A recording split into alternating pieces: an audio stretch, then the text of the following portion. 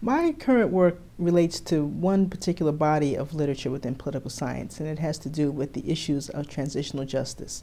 So, after authoritarian regimes end, the question becomes what to do about those who were torturers and such, typically known as the torture problem. The southern states of the United States have not usually been thought of as appropriate cases for a study of transitional justice. And my research questions that premise. If we think that we can define the American South as authoritarian after Reconstruction until the passage of the Voting Rights Act in 1965, then the question becomes why hasn't the U.S. been subjected to the same kind of scholarly inquiry as other countries have? Our political science department uh, ties in very closely to MIT's mission of mind in hand.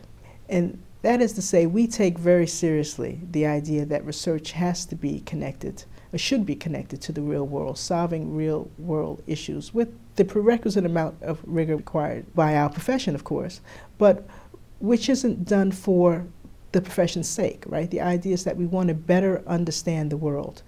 I think if they look closely at our department, what they'll find is a department with really interesting and important work being done, very much in keeping with what's going on in the profession, but also very much tied to the particular institutional uh, ethos, which is the very strong connection between work and the world.